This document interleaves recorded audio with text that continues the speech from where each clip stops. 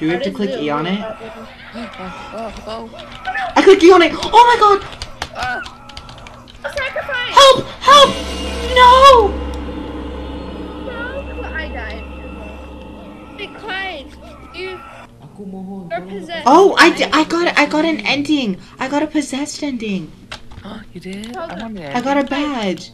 Wait, I can't control my body. It only says you only had five lives. Now you're possessed Oh, as the Yes, gens just enter vanished. your body. Ew. You can control yourself. I'd Wait, start now- jumping.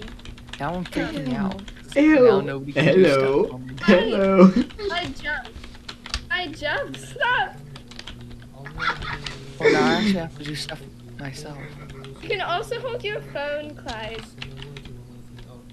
Wait, can you guys help me? Where did I go?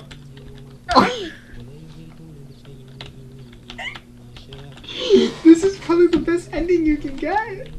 Oh no, where did I go? That's what I was talking about. I was possessed and I was just jumping around. Dude, both times I tried to die, good. I accidentally banished it. You got me killed. I got flung into the monster. Like I was trying to climb up the I stairs and I got. hit the. Bang said it'd be okay to open the door.